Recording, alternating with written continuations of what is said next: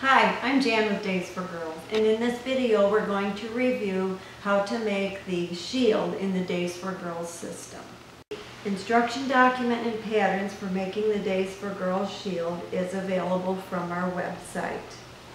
The pattern is downloaded and printed as a half pattern. You need to print two copies of it and then cut it out and attach them right down the center line. On the pattern, it does give the dimensions for what the pattern should be at the start. So after you've made your full pattern, measure it top to bottom and side to side, and then compare it to the measurements on the pattern there. Uh, of course, we want to begin with the correct size pattern. On the pattern also is the finished dimension of the shield, and you want to take note of that so that you can compare your finished item to those sizes also at the very end. On my printout here, I've handwritten and in pink I show the grain line because we've had some questions about that. And the grain line is basically you're, you're setting the grain of your fabric, you know, right down the center line of the shield there. Okay, before we start actually sewing the shield, let's do a quick review of how the shield functions in the Days for Girls kit. I have two examples here. And the shield works with the liner. The shield has pockets and it has uh, wings, we call them, with snaps. And this snaps around the bottom of the panty. And then the flannel liner, which actually functions as the pad in the Days for Girls system, the flannel liner gets inserted into these pockets. The shield is designed with pockets large enough that two or three of these liners could be stacked up on days when there is a heavier flow. Here's another example of a shield and a liner that I have here. And there again, the same thing. It has the rings with the snap that snaps around the panty, and then it's worn this way. Now, uh, let's take a look, uh, a closer look at the shield itself. And the shield itself is made with two pieces of cotton fabric, a front and a uh, top and a bottom, you may say, and then two pockets, one on either end. And inside, in between these two layers of fabric, is the PUL, which is the uh, waterproof barrier. And we'll take a closer look at that in a minute. So now we have here, starting from the beginning, is we have our two pieces of cotton fabric which have been cut out very precisely. We now also have the, day, the die cutting system available for the Days for Girls shields and that's covered in other videos. Uh, but anyway, using the die cutting system we can get such a uh, precise cut on the shield. The more precisely the shield is cut, the more precisely we can sew it and that contributes to a nicer finished item. Okay, so back to our two pieces of cotton here that we start with, and because we're going to sew it with the right sides together, I position them that way. What we'll notice here on these two pieces, and I hope this shows up well in the video, this piece has a basting stitch here, which I did with a white thread. And this side has no basting stitch. So the key is that only one of the two pieces gets marked, and it's um, very helpful, of course, if it's marked on both sides of this one piece. That's why I like to use a long basting stitch. It's easy to pull out at the end of the sewing. It isn't going to disappear on me like a chalk mark or a disappearing ink pen might be. Um, and it'll be there even if I start this and I have to stop for a week or two when I come back to the project. My basting stitch will still be there. Then we also need two pockets. And uh, the, the uh, pocket pieces are typically done with a fold. And I have a demonstration here. Um, I like to cut the pockets basically in a five inch square or I'm going to show you a strip method too. But um, I like to make them extra wide. This distance across here isn't quite five inches, but having the extra width on the pocket really helps when we get sewing. Um, then we take our square, fold it in half. As you can see, this one has been folded in half, if I can get these two pieces apart here. And um, then we've pressed it to get a nice crease on the edge, and then we do a stitch line across that fold there. And that um, makes that fold edge a little bit more durable and stable and it prevents it from stretching out over time. Because the, as we mentioned, that the uh, shield has been designed so that we can fit extra liners into that pocket and this edge may stretch. So that's the edge that gets the uh, stitch in it. Now here is a, a longer strip and you can make these strips as long as you want. I start out with a five inch strip in whatever length I have and uh, fold it in half, press it, and then take it to the sewing machine and do that stitch all across. That's a little bit more efficient way than dealing with all smaller little pieces. But we make pockets a lot of times off of our scrap fabrics, and so we're not, we don't always have pieces large enough to do a strip.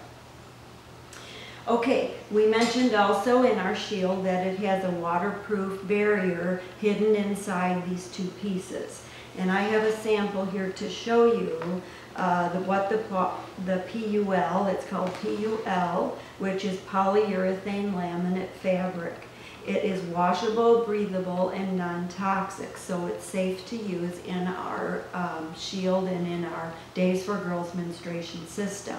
If we look closely at the PUL itself, we'll see that one side is shiny and kind of slick, and the other side is duller and it's more of a knit material. The shiny side is in fact the waterproof side. As we're sewing, we want to be careful that we don't poke holes into our waterproof barrier. And we also want to make sure that the waterproof barrier is the side that's uh, facing the girl. In other words, the knit side would be on the bottom side and this would be on the top side uh, to function properly as the waterproof barrier that's in the shield. So in other words, here's the shiny side and here's the pockets even though we can't see it, I know that inside the shield, the shiny side's on this side and the knit side is on the bottom here on this side. Okay, so now let's start our steps for um, how to construct the shield. So we talked about the fact already, oh, and I'm also showing solids here uh, for video purposes. Uh, typically, we would use prints that disguise stains. And that information is in the document that you would go get on the website that has all the sewing steps in it. But anyway, we start out with our two pieces of uh, cotton shield, we start out with our two pockets, and we start out with our PUL piece. And we layer them. At the sewing machine, we put the PUL piece on the bottom, and the shiny side is showing here. I don't know if that shows well in the video, but this is the shiny side, this is the dull side. So the shiny side is here. We put one of those cotton pieces on top of it. And uh, actually I use them as a pair. I put them both in and then I separate this and insert the pocket here. When we insert the pocket, we put the fold edge toward the center, meaning these two open ends here are, are at the end. And then, of course, this fold edge has been stitched. And likewise, we put a pocket in the other side. Now, um, one of our uh, cotton pieces has this stitch mark. And it's important that that stitch mark be showing on both sides and that only one of the two pieces has a stitch mark. We'll be talking more about that as we sew. And then I put these pieces together and I go to the sewing machine and I use a long basting stitch and baste it here and here. Now you may find it's helpful uh, to actually baste all four of these corners. It takes a little bit more time, but it does uh, prevent uh, things getting a little out of whack in the next step. So uh, you might want to give that a try if you're having trouble when you're sewing to keep all these layers together. Like I said before, we don't want to poke any holes into our waterproof barrier so that's why we avoid using pins in the process. And by doing a proper basting, really the whole pinning thing becomes unnecessary because this all holds together very nicely even without pins. If you do use pins, remember they must stay as close to the edge as possible and stay within that seam allowance. And we're going to be doing a one quarter inch seam allowance, which is not a very large space. So let's move on to step number three then. In step number three, we're gonna be doing some sewing and we're gonna sew our side seams. You'll notice that the ends here are not sewed. So the only thing we're going to sew in step number three is a one quarter inch seam right down this side and then likewise down this side. Uh, this is similar to driving a car. We don't want to push the gas pedal faster to go faster than what we can steer the car. And so in sewing these seams, we want to sew slowly enough so that we can steer around these corners and keep a nice one quarter inch seam. If you're not used to doing one quarter inch seams, it might be helpful to have a ruler nearby and double check after you've uh, sewn one. Some of us sew this in what we call a scant one quarter inch seam, which means trying to stay slightly under a quarter inch so that if we do happen to waver out at any point, uh, we generally then don't end up going over one quarter inch. So that's some helpful tips there. So that's step number three. And you notice when we're sewing step number three, the stitch mark is visible and we have this uh, PUL side is on uh, face down on our sewing machine and so we're not seeing the PUL side. If you sew with the PUL on the top side, the presser foot can sometimes push the PUL around and it makes things harder to sew. So I recommend that you keep that on the bottom and that when you see it on your sewing machine, you can see this uh, basting stitch. Well, let's move on to step number four. In step number four, we're going to trim the seam. So let's compare it to step number three. In step number three, we did a one quarter inch seam through here. And now we're going to cut off about half of it. And you can see here in step number four uh, how we have our seam allowance has been trimmed to about half. You note that we are still not doing anything on the ends here. So that's all that is involved in step number four is just carefully trimming around here. And if we trim in these corners very neat and tidy, it'll make it very easy when we do turning and we don't have to do any clipping, what some um, seamstresses are used to doing is clipping the curves. That's not necessary if we trim it neatly here. We also want to trim our corners neatly so that eventually when we turn this right side out, we won't have any troubles in the corners with too much extra bulk. Step number five then, uh, we're going to, now that we've done number four and we've trimmed, the next step is that we turn it right side out. And one of the quality points in step number five is after we turn it right side out, that we be sure that the pocket and our basting stitch mark are all on the same side. It is possible after we turn this right side out, if, um, depending on how our fingers worked inside there to turn, that one of our pockets will be on one side and one on the other, or maybe both of them will be on the wrong side. That's easily fixed. Just go ahead and turn it back. And the key is, is that in step number five, both pockets and the stitch mark are on the same side. And also in step number five, we want to look at our corners. Did we get those turned out very nicely? And is there a nice curve to those corners? We also take a quick press here, making sure that we've um, flattened this out as much as possible. And uh, yeah, just that we get those corners flattened out and turned properly. So then we can move, move on to step number six. In step number six, we're finally going to start working with the ends of our shield, the pocket ends. And uh, so the first thing that we do is we're going to stitch across here on a one quarter inch seam again. And you can go straight across if you're up for a little bit more of a challenge. And you would like the shield to have a little bit of a rounded corner. When you get all finished you can dip down at the corners here. That is a little more difficult though uh, so maybe you want to have a little experience before you try those. Um, after stitching that across in a one quarter inch seam then on this end I show how I've trimmed it. And I don't trim too much right in this section because when we go to do our edge stitch at the end, um, when we come across here, if this is uh, too um, narrow in here, our presser foot might wobble a little bit going through there. So I tend to leave this a little bit longer, but the corners I try to trim precisely because that's where a lot of the bulk is. So after we do step number six where we've stitched and then trimmed, then the next thing is, is we, I'll use the trimmed end. We're going to turn this right side out and then we'll see in the next step after turning that our pockets now end up on the side without that basting stitch mark. So let's move on to step number seven.